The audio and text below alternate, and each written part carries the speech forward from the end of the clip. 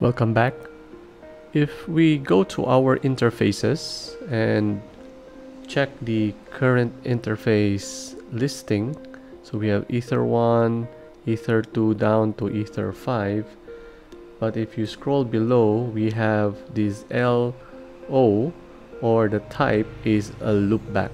A loopback interface provides a stable and consistent IP address for a router independent of the state of any physical interfaces. So your Ether 1, Ether 2, Ether 5 are your physical interfaces and your loopback interface LO you could consider it as a logical or a virtual interface. A loopback interface could serve as a management interface allowing administrators to access the device for configuration and monitoring regardless of the status of physical interfaces.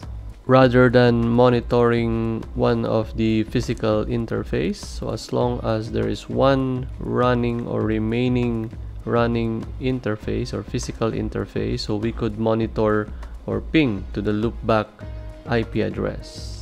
In our upcoming videos, the loopback interface IP address could be used as the router ID in the routing protocols such as OSPF and BGP, ensuring the router can always be identified even if the physical interfaces go down. In the upcoming videos, so if we go to routing or OSPF, then BGP, then we have this router ID, so main with this dynamic ID. So routing OSPF, for example, instances, if we click new, you'll have the router ID. So we could have our loopback IP address as our router ID. In several firmware versions ago, for example, version 6.49.7, so if you go to interfaces and we take a look at our interface if we scroll down or we don't even have a scroll we don't have a loopback type so we don't have the LO interface. Back in our version 6 if we wanted to have a loopback interface so we simply go to the bridge and create a bridge without any member ports. And from that bridge we will then assign an IP address to point to that bridge. Back in our version 7.19, so we can go to IP addresses and from here we could click new and let's type in the IP address of our loopback interface.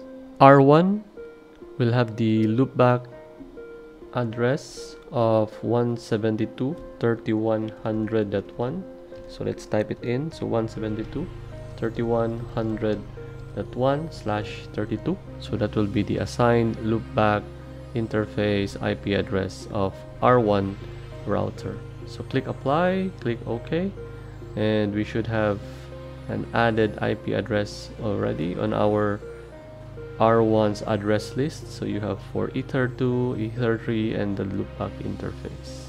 We are at our router 2 this time, so we can have an IP address print to list down the IP addresses that were configured. So we have Ether1 and Ether3. We don't have anything for loopback interface again so make sure the loopback interface is just enabled. So if you go to interfaces you scroll down to your loopback type double click and as long as the enable checkbox is okay so you're good to go. Of course you could rename your loop interface but for us we'll stay put for this.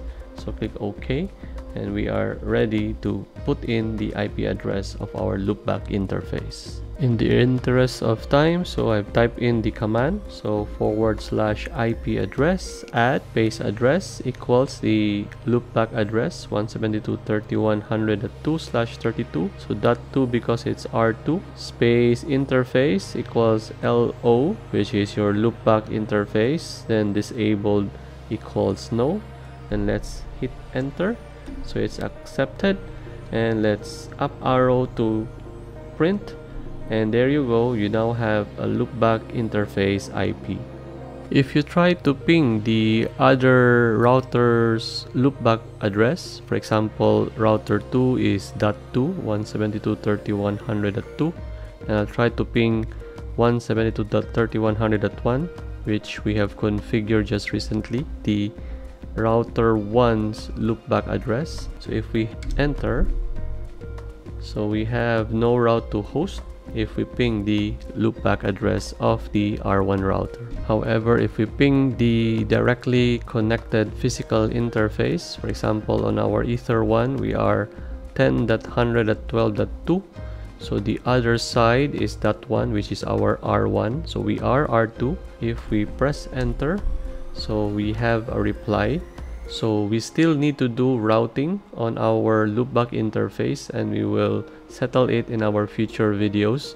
So whether static route or we could go directly to dynamic routing which is for example OSPF. So in the interest of time, so we have done R1 and R2, so we have seven routers to go. So we will just configure it at the background. So for R3 to R9, so they're loopback addresses. So we need to settle all the IP addresses that are needed for network connectivity and the loopback interface as well before we will start the routing protocols such as OSPF.